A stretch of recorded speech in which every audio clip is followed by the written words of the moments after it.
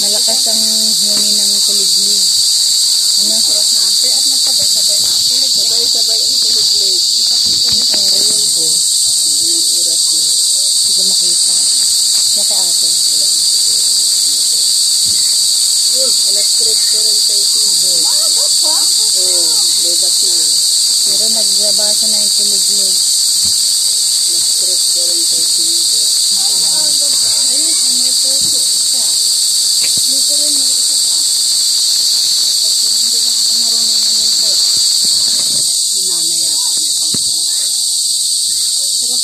Pa dyan ah. Asle! As!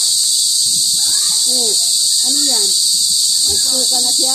Kainin mo na yan! Dinukot niya doon pagkain. Kaway ka, balage, Ah. balage! Ah, doon siya daw ah. Pang pakain siya. Dinukot niya. Hindi na nakapaghintay